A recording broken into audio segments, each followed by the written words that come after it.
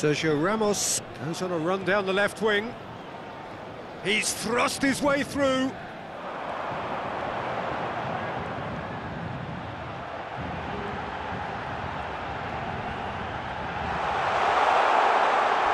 There's the shot! He's got a goal!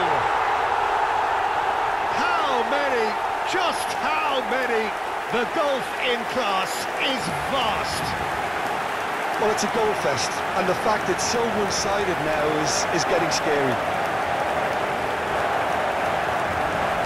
But pour l'équipe du Paris Saint-Germain. Après 55 minutes de jeu